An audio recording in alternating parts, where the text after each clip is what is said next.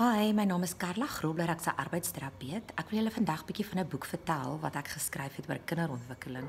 Ek weet daar's so baie boeke oor kinderontwikkeling, maar wat hierdie boek lekker maak is in 'n checklist formaat.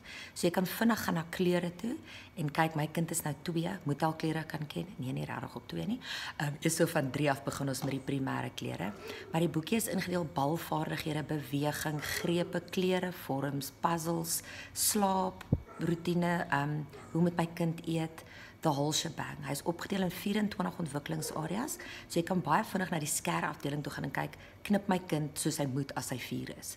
Ehm um, dan help dit jou natuurlik ook as jy sien, o, oh, oh, my kind knip nog nie, hy moet nie, gaan 6 maande terug in ontwikkeling, stimuleer eers dit probeer dan weer oor 'n rukkie. Party areas kan ons sien, wow, my kind funksioneer actually bo sy ouderdom. Fantasties. Dis sy dis sy sterk area, fokus op dit want dit bou ont, uh, dit bou sy selfbeeld. Ehm um, in die agterkant van die boek is ook ouderdomstoepaslike stimulasie aktiwiteite. So ek kan sien vir 'n 1-jarige, groot motories kan ek dit speel, fyn motories kan ek hierdie doen en visuele perseptueel gewys hoe ek my kind kan stimuleer. Die hele boekie van geboorte tot en met 6 jaar is R150. Dan kan jy kies om dit deur Postnet te stuur wat ek sou aanbeveel wat ekstra R99 is. Ehm um, daar is ook opsie deur die poskantoor vir ekstra R70. Ehm um, e-mail my, dan stuur ek vir julle die bestelvorm van die boek met 'n paar voorbeeldbladsye dat julle kan sien hoe lyk dit. Maar dit is so maklik om in die klas te gebruik vir juffrouens. Dis vir nuwe ouers om te kan sien is my kind oukei? Okay?